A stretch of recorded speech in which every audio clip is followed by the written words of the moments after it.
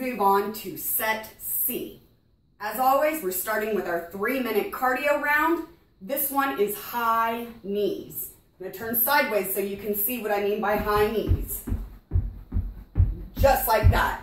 If you need to modify, that's all you have to do, okay?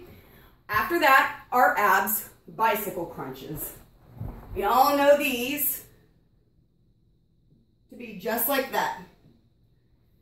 Next, we're going to do dumbbell row. This is another one you should be familiar with if you did the last boot camp challenge.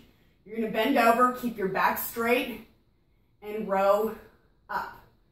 From the front, just like this. Also, we're gonna keep the weights in hands. We're gonna do a reverse lunge hammer curl.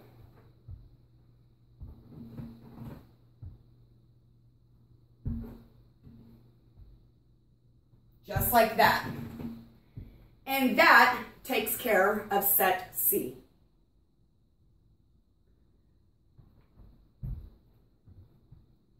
Let's move on to our last set, set D. We are going to start with mountain climbers. I know you love them. Let's get down on the floor. And just like that. If you have to modify, don't add the jump in there. Perfect. Also, we are going to stay down on the floor and do side plank crunches. You're gonna do 30 seconds on one side, 30 seconds on the other. Very simple. You're just gonna go up and down, up and down, flip,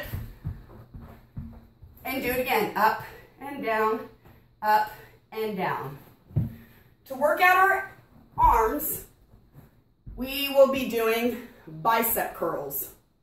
Do them together for a full minute. If you find that you're getting tired, go to alternating. Great.